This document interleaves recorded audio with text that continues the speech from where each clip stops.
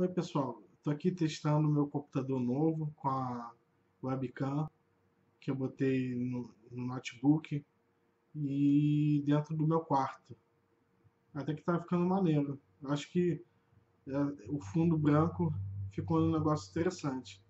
Eu posso pensar em algumas coisas. Se botar um quadro vai ficar maneiro.